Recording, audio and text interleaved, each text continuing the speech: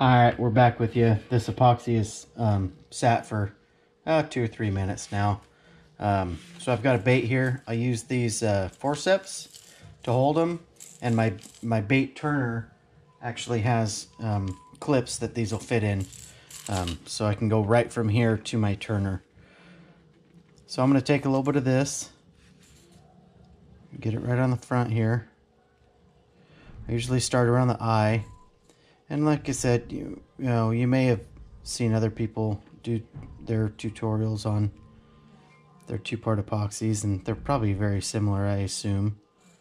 Um, I start around the eye, kind of work it to the nose, because you really want to get it into these uh, little crevices around the eye. And in these gill plates, you know, on these, you know, these are KO 110s they have the little lines in the gill plates and stuff that you need to get that epoxy in.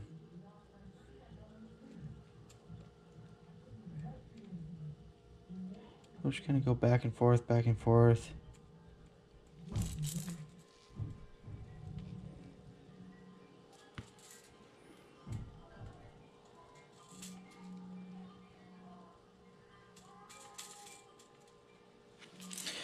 So I typically don't do the bills.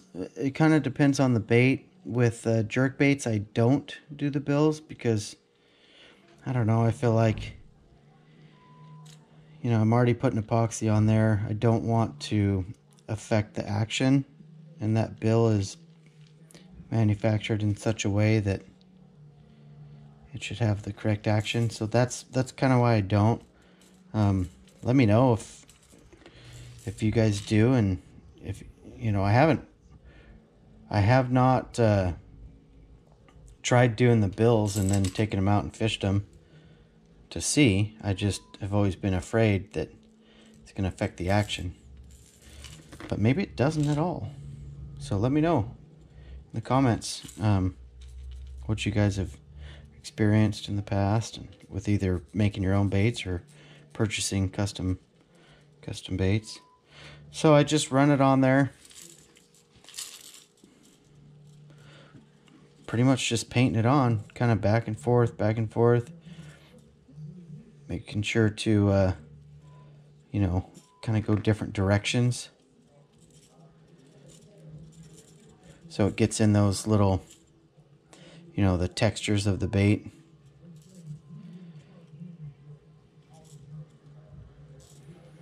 This was kind of an experimental bait right here with the, uh, you can see the kind of faint purplish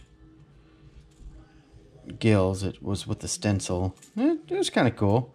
I think I might use it in uh, like a chub or like carp pattern or something like that, you know?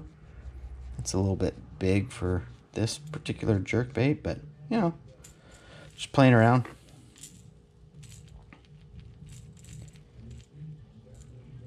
Get right up. I want to be over where I stopped painting, that's for sure, to get that nice seal.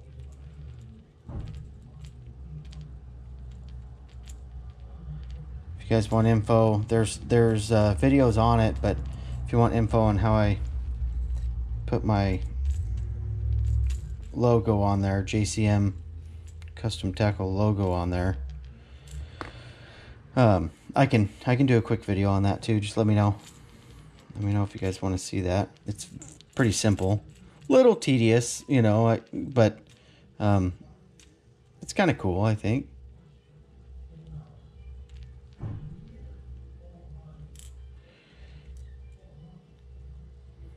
So we're just going to make sure we have good coverage, make sure we don't have any really big bubbles or, you know, make sure none of this, uh, um, none of my bristles came out. So if you notice these uh, hook eyes are plugged, make sure and get a toothpick or something. Get that out of there. It's a lot easier now than to do it afterwards with an X-Acto knife and stuff because when this stuff dries, it dries, it's pretty hard to pick out of there without you know, messing up your paint or something. Trust me on that one. Um, so yeah, so that's what it looks like. It really, you know, makes a really clean look. Um, we'll put it on the turner. I typically turn mine um, at the very least overnight, um, and then I like to let them sit, you know, the next half a day. I'll pull them off the turner uh, in the mornings, and then uh, I'll hang them, um, kind of like you would if you're using KBS, just with a hang wire. They're not going to drip at that point, but just so they don't touch anything else, just so it fully sets, and uh, you're left with a, a, very quality finish. Very happy with this uh, True Coat. Um, check them out online. Um, they're uh, go to trueglide.com, I believe it is. Um, but look up True Coat and you'll be able to find it. Small batch, two part epoxy. All right, I'm going to do the rest of these baits and uh, I'll probably show you an update uh, possibly tomorrow with some baits. Just run through some baits that I've done up and so you can see the different finishes that this uh, creates.